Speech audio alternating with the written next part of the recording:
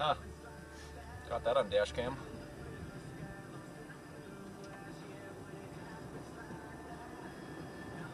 That sucks.